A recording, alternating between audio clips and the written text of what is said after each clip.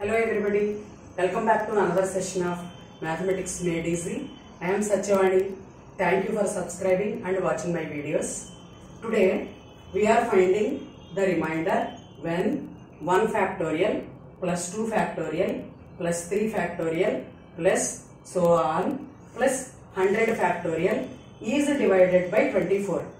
So that 1 factorial plus 2 factorial plus 3 factorial plus so on plus 100 factorial divided by 24 what is the remainder now 2 factorial is equal to 2 into 1 3 factorial is 3 into 2 into 1 whenever we are finding the factorial of the given natural number we have to write the natural numbers from the given number to 1 and multiply them. So 2 factorial is 2 into 1 3 factorial is 3 into 2 into 1. Similarly, 4 factorial and 5 factorial. Now, 1 factorial plus 2 factorial plus 3 factorial plus 4 factorial plus 5 factorial plus so on plus 100 factorial divided by 24.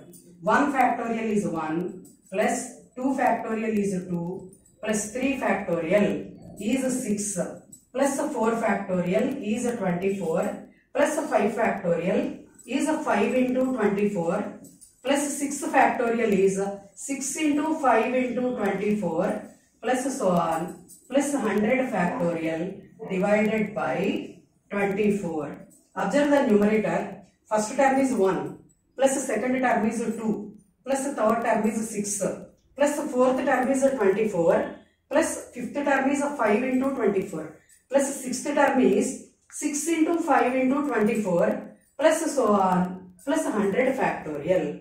From fourth term 24 plus 5 into 24 plus 6 into 5 into 24 plus so on plus 100 factorial.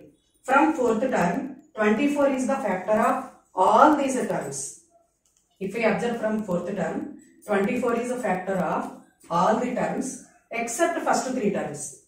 So that uh, the remainder when 1 factorial plus 2 factorial plus 3 factorial plus 4 factorial plus 5 factorial plus so on plus 100 factorial is divided by 24. Remainder is equal to remainder is equal to sum of the first three terms because fourth term plus fifth term plus sixth term plus so on last term 100 factorial in all these 24 is the factor.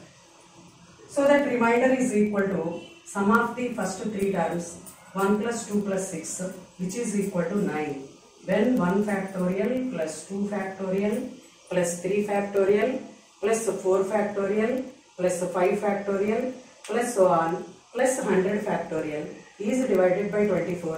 Remainder is equal to sum of the first three terms which is equal to 9.